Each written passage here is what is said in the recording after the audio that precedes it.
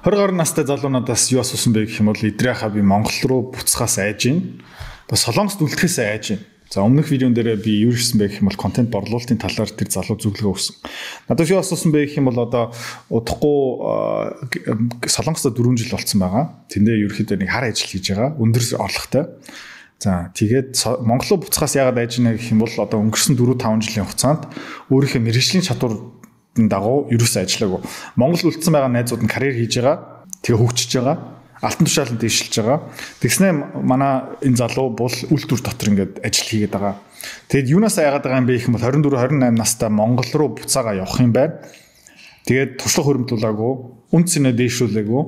Тэгээд яг Монголоосоо явсан Монголууга буцдгийн хөлбөр нь баг адилхан зүгээр илүү хөгшин илүү их мөнгөний шаардлагатай баг хүүхд мөхтэй болцож байж байгаа. Тийм мэдээлэл мессеж дээр ерөөсөө орлоогүй. Тэгээд надаас юу асуусан бэ гэх юм бол би энэ айцыг хэрэглэхэн арилах вэ? Монгол руугаа буцнаа. Энэ миний нутаг биш ээ. Тэг би та надад юу зөвлөж байгаа юм бэ? Тэгээд одоо би ямар өнцгөөс өмнөх видеон дээр ч одоо энэ видеон дээр ярьж байгаа юм бэ гэх юм бол би тэр залуу байсан бол би өнөөдрөөс ахуулаад юу хийх вэ? За өмнөх нь бол борлуулалт контент маркетинг гэж ярьж исэн. Одоо юу ярих юм бэ гэх юм бол видео эдитинг. Яагаад видео эдитинг ярьж байгаа юм бэ гэх юм бол дахиад энэ чадвар маань юу хэрэгтэй юм бэ гэх юм бол компьютер хэрэгтэй, зүтгэл хэрэгтэй, хичээх ёстой, тэгэл болоо.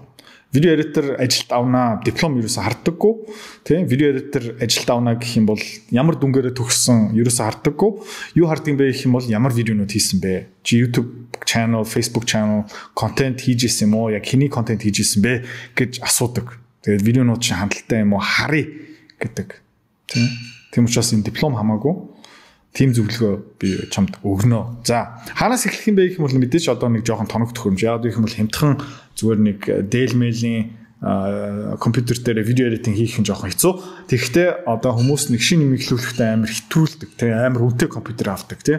Контент хийгээл эхлэхдээ супер камер худалдаа авдаг. Амар одоо ийм үнэтэй зүнтэй микрофон худалдаж аваад тэгэл миний хоолой гой сонсох юм бол миний контент сайн явна гэх мэтчлэн хандлагатай байдаг юм. Яг үнэн биш. Тэгэхдээ миний хоолой ингэх юм бол гой сонсогч юм л та. Тийм учраас одоо жишээлбэл одоо солонгосын одоо тоногт хөөрөмж компьютер хаанаас авдаг юм би яг сайн мэдэхгүй байна. Ерөнхийдөө баг хамт олонныхаа би компьютеруудаа хаанаас авдаг юм бэ гэх юм бол Highbox-ийг манаас авдаг. Монголын компаниудаас хамаагүй хямдхан ямар нэг ашиг машиг эндээ шингээг байгаа. Тэгээд энэ дотроос би ерөнхийдөө ойролцоо шинээр видео эдитинг хийх сурмаар байгаа хүмүүсийн хувьд бол 2 сая гарантай компьютер хангалттай эхэндээ Одоо их юм бол товчхон 5 10 минутын видео хийн. Тэр видеон дотор янз бүрийн эффект те супер одоо эдитинг ерөөс орохгүй. Тийм учраас бас тийм сүртэй компьютер хэрэггүй. За судалсан чинь ерөөхдөө иймэрхүү компьютер гарч ирж байна. Xiaomi-гийн компьютерийн компьютер тоглоом бас тоглох боломжтой гэхдээ компьютер тоглоом тоглож болохгүй шүү. За ийм компьютер гараад ирсэн. 16 GB RAM Тэ memoryтэй 512 GB SSD-тэй. За тэгээд энэ i5 chip бол хангалттай заяа. i5 chip хангалттай. Тэгээ энэ GTX 1650 Ti Тэгээд дэлгэцэн 6 Hz. Энэ бүр бүрэн хангалттай заяа 2 сая 200. Энээсээ бүр доогуур нэг 2 сая төгрөгийн лаптоп бас байсан. Заавалчгүй 1650 Ti ерөөсө хэрэггүй. 1650 бас хангалттай.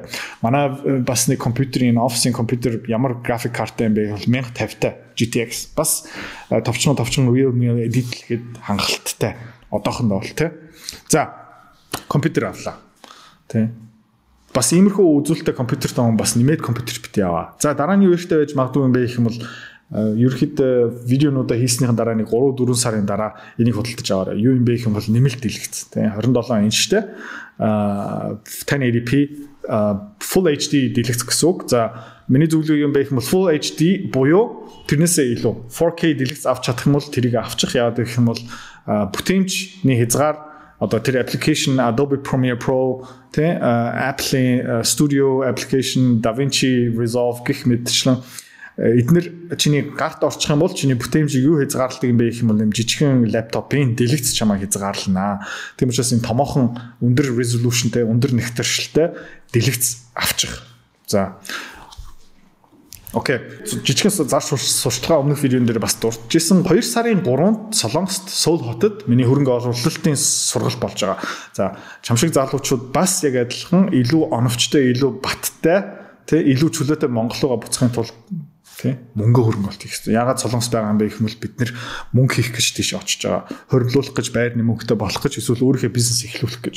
За тэгээд хөрөнгө олтынхаа өгөөж тий тултал нь аваад эрсдэл багтай тий багц хөрөнгө олт хийгээд тий илүү хурдан илүү бардам, илүү ихтгэлтэй Монгол руу буцах боломж нь гарч ирж байгаа. За тэрний тухай ерөнхийдөө санхүүгийн эрхчлөө хөрөнгө олтын сургалт тийм 3 2 сарын 3-нд 6 цагаас 10 цагийн хооронд болж байгаа. Байшил нь бол яг энд харагдаж байгаа тэгээ илүү дэрлэгэнгүй мэдээл энэ постын доор байгаа шүү. За видеого өргөжлүүлье. Одоо чамд юу бэ гэх юм бол нэг компьютер авчлаа Тэгээд ерөнхийдөө софтверээ хаанаас авах юм бэ? Софтверээ хаан суулгах юм бэ?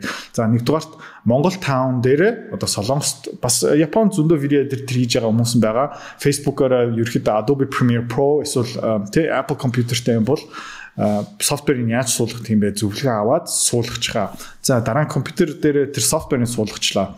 Одоо яах вэ гэх юм бол англи хэлтэй юм бол одоо энэ видео жишээлбэл YouTube дээр би олсон 3 цаг 30 минутын видео beginner-тэй зориулсан.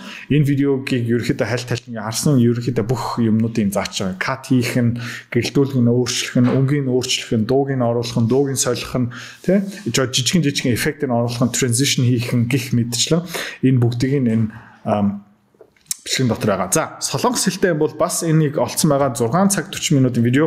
Би солонгос хэлэхгүй учраас энэ видеон дотор яг юу болж байгаа юм бэ сайн харсангүй. Тэгэхдээ солонгосоос солонгос хэлээр YouTube хайсан чинь зөндөө гоё юм гарч ичээлээ. Ерөөдөө багш хэрэггүй, сургалт хэрэггүй, мөнгө зарцуулах хэрэггүй, ном гэсэн юм бас хэрэггүй яагаад гэх юм бол орчин үедээ бид нар хаанаас сурах боломжтой юм гээ хийж чаддаг хүмүүс одоо YouTube дээр биднэрт заагаа явж байгаа. Монгол хэл дээр ингээд хараад үзсэн чинь бас хэдийн юм байгаа. Тэгтээ бас яг ийм жоохон хомс тий. Та бас хэрхэн видео эдит хийх, видео эдитинг нөө кирилл үсгээр оруулаад үзчих. Тэгээ монголоор зарим юм байгаа. Тэгтээ яг нэг юм 6 3 цаг яг ингээд шат дараалтай тийм нойлоос ахуулаад заадаг бичлэг байхгүй юм байлаа. Тийм учраас та хэд англи хэлтэй бол англи контент үзчих, солонгос хэлтэй бол тэр солонгос хэлтэй контент үзчих. За, тэгээд дараа нь юу хийх юм бэ гэх юм бол тий хүмүүс л ярих хэвээр. За, пэйж ажиллах хүмүүс нь зөндөө байгаа. Солонгосоос бараа зүүдэг, бараа зарт зөндөө хүмүүс байгаа. Тэгээд тэд нар юу хийж байна гэх юм бол ерөөхдөө айгу модон айгу тэ хуучин аргаараа зүгээр нэг селфи камера контент хийж байгаа. Яг гэх юм бол видео эдитинг хийж чадахгүй.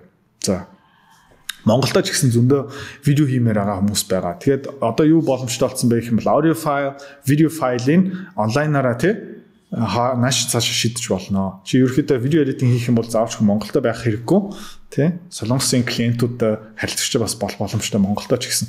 За тэгвэл хамгийн гол нь шүү дээ. Одоо хүмүүсийн видео эдитл ингээд зар тавилаа гэж бодоход бити ажлын байр шиг хандаарэ. За ёо.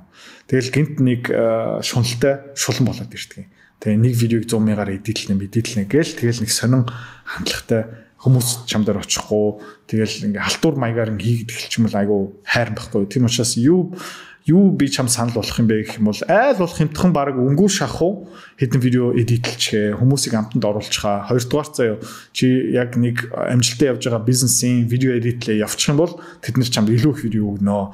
Яванда бас цалин нэмж боломжтой чи чадвартай болоод ирэх юм бол те за тэргүүрээ дамжуулаад чи өнгөө ерөөхдөө дадлага хийж байгаа гэсэн үг. Окей?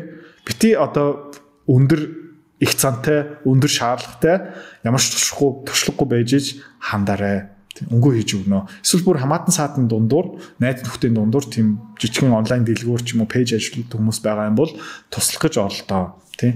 Дадлах хий. Эхний 20 30 50 видеога нэг үр дүн нэхэхгүй, нэг мөнгө нэхэхгүй, шуналтай байхгүй зүгээр юмыг сурчих жижигхэн түүхтэй болцгоо. За тэгээ дараа нь айгуу гоё тийм өнгөтэй аятай видео тийм өөрөө бас нэг бичлэг автах авч байх үедээ зөвлөгөө өгч чаддаг хүн болчмол за яриагаа ингэчгээ те одоо яриагаа ингэх ёстой за алтай ээж хүмүүс завсарлаа ингэж ухраад юм а гих мэд чинь жоохон мэдлэгтэй туршлагатай бусдаа үнцэн өгөх боломжтой болох үедээ чи түүхтэй болчих юм бол те одоо энэ пэйжний контент хийсэн энэ пэйжний контент хийсэн гих мэдчлэн те нэрийн хуудастай те анкеттай болоод ирчих юм бол ажил олох нь айгүй амархан. За тэгээд хэзээний цагт Монголдооч Тэ солонгостооч заяа тэр үйлдвэрийн ажил хийх шаардлагагүй ерөөхдөө ирээдүйдээ видео эдитер бүрэн болох боломжтой. Тэгээд анхан шатнаас тий бараг мэрэгжлийн шат хүртэл бүх мэдлэг нь YouTube дээр онлайн байгаа шүү. За тэгээд юу үлдчихэж байгаа юм бэ гэх юм бол олон давтамжтай видео эдит хийх хэрэгтэй. Тэгээ эцсийн эцтэй энэ програм одоо чиний гарт гарчаал ийм гоё юм өгсөртөг болоод дуутай, эффекттэй Тэгээд нэг 100000 дагагчтай байсан хүнийг ингээд дэмжээ 50000 дагагчтай болоод тэгээд тэр чиний нэр хүнд болсныхан дараа ерөөхдөө чи Бардан Монгол руугаа буцаад ирэх боломжтой. Нэгдүгээрт туршлага дутуу эсвэл ихтгэлгүй байгаа юм бол компанид ажилд ороод тэндээ видеографер болно. Салин 2 сая 500 3 сая гих мэт чинь тэндээс эхэлдэг. Тэгээд чиний чадвараасаа хамаараа хамаарат чиний цалин өндөрсөн. Тэгээд Монголдо буцаагаад ирчээд тийм цалинтай ажил хийгээд заяа нэмээд юу их боломжтой юм бэ гэвэл хуваараа чөлөөт цагаараа хасаа бүтэн сайндаа энэ дээр илүү төвлөрөөд тэгээ энэ видео эдитинг хийж чаддаг болцсон юм чинь чи өөрөө өөрийнхөө пэйж эхлүүлэх боломжтой контент борлуулах гэх мэтчлэн. Миний пэйж хаанаас эхэлсэн бэ гэх юм бол би өөрөө бүх видеонуудаа анхандаа эдитэлдэг байсан. Бүх подкастуудаа би өөрөө тий Apple компьютер дээр тий iMovie-гаас эхэлсэн өнгөө одоо видео editing software дотор байгаа. За тэгээд дараа нь GarageBand гэдэг аппликейшнээр подкастуудын бичлэг тавиад YouTube дээр тавиад энэ бүгднийг би өөрөө хийсэн. Бараг 50 мянган даагч хүртэл би бүх юм өөрөө хийгээд тэгэл дараа нь ерөнхийдөө орлого нэмэгцээр агаад эрсдэл авах боломжтой болоо болсныхан дараа би ерөнхийдөө видеотрийг ажилд авсан юм аа. Тим карьер чи бас хийх боломжтой. Тийм учраас юмыг урт хугацаанд хараа. Тэ богино хугацаанд бити шуналдаа. Одоо нэг хоёр видео эдэлсэн дараа окей одоо сарын сая 500-ийн цалин ажил хийн эсвэл хийхгүй гэсэн бити туршлага тэ түүхөө бич түүхөө бэлт. За тэгээд дараа нь ингээ Монголдо буцаагаад ирэхдээ бас ингээ шууд өөрийнх юм хийхэд хаяа эрсдэлтэй. Тийм учраас чамд арай бага ачаалттай амар том компани 7 хоногт 2 видео гаргах хэвээр тийм компани дотор тий 2 видеог нь хийчээд бусад цагаараа чадвараа дэвшүүлээд тий контент хийх ярианыхаа чадвар, бичих чадвар, борлуулалт хийх чадвараа дэвшүүлээд тэгзээ нэг цагт жишээлбэл өөрийнхөө пэйжээ эхлүүлэх боломжтой. За ерөөхдөө ийм зөвлөгөө байна. Тэгээд дахиад хэлчихье 2 сарын 3-нд Солонгост Сөүл хотод миний сургалт болж байгаа дэлгэнгүй мэдээлэлтэнд бас тэндээ олж байгаа мөнгө оновчтой хөнгөлт хийгээд илүү их мөнгөтэй, илүү ихтгэлтэй тийм нэг өрөө байр биш хоёр өрөө байр худалдаж авах боломжтой. Яа яаж тийх вэ гэх юм бол оновчтой зөв эрсдэл багтаа өндөр өгөөжтэй хөнгөлт хийх. Тэгээд тэр сэдвтэ сургалттай тэгээд 2 сарын 3-нд хэдүүлээ уулзцаая. Тэгээд чи бас сургалтнаа ирээд надаас нэмэлт одоо миний одоо туулсан аян зам миний мэдлэг би бас хуваалцахад бүрэн бэлэн байгаа. Тийм учраас сургалтын дээр уулзаад надаас нэмээд юм асуух боломжтой шүү. Сургууль болгоны дундуур бас дараа нь нэг чөлөө цаг гардیں۔ Тэгээд тий 2 сарын 3-нд чи байх юм бол би баярлнаа. Баяртай.